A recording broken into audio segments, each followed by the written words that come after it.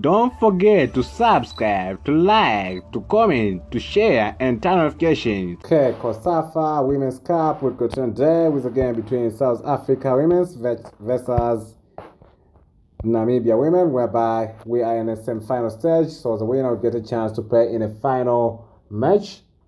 And on side of pretty much all, South Africa Women has get chance to win this game.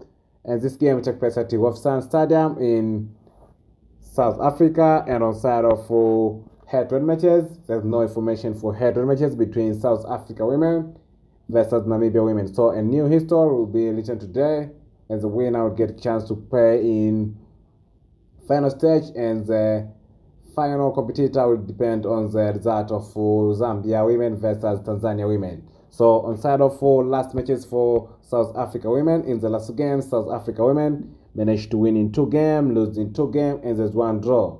That's the moderate performance from South Africa women, and there is two friend international matches. Also, there's three COSAFA Women's Cup matches.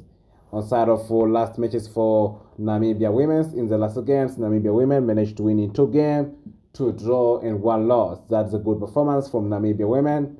That is why they managed to reach that stage. On of uh, those five games, there's three COSAFA Women's Cup matches and two Africa Cup of Nations matches for women. That is all. Thank you. Have a good day.